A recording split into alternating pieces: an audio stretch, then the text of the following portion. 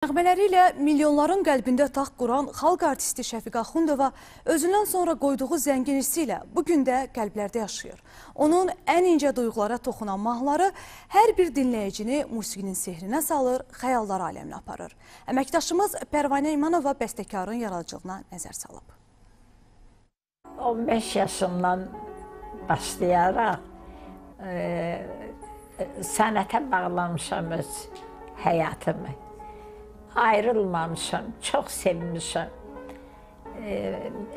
Bilirsiniz, bu sənət elədi ki, Üzeyir Hacıbəyev deyərdi, mən ona, onda axı 8 il oxumuşam.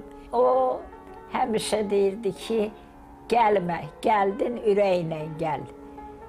Ürəklə gəl, yazdıqları da həmişə e, elə ki, yazdıqların belə yadda qalsın.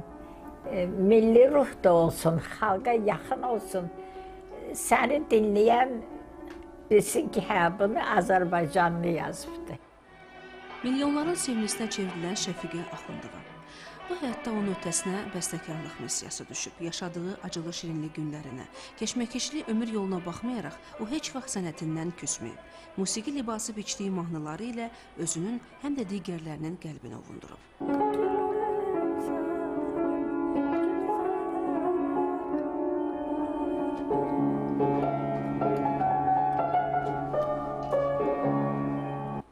1924-cü ildə Şəki şəhərində anadan olan Şəfiqə Axundova Asəf Zeynallı adına Bakı Musiqi Məktəbində görkəmli bəstəkar Üzeyir Hacıbəlinin sinfində oxuyub. İlk bəstəsi Bala mahnısını müəlliminə göstərərək onun xeyir-duasını alıb. Bununla da bəstəkarlıq dünyasına bir dahi daxil olub. Ustadından əks etdiyi yaradıcılıq ənənələrinə və yüksək insani keyfiyyətlərə ömrünün sonuna kimi sadiq qalıb. Üzeyir bəy həmişə mənə deyirdi ki, mən səninlə dərs keçəndə vaxtımı sərf elədiyimə hayfım gəlmir. Musiqi Şəfiqə Axundovanın qəlbində əli uşaqlıqdan məskən salıb. Şeirə vurularaq bəstələdiyi sayısız hesabsız nəğmələri ilə musiqisevərlərin qəlbində taxt qurub. Bununla yanaşı 1972-ci ildə yazdığı Gəlin Qayası operası ilə Şərqdə ilk opera yazan qadın bəstəkar kimi tarixə düşüb. Yüksək yaradıcılıq zirvəsini fəth edib.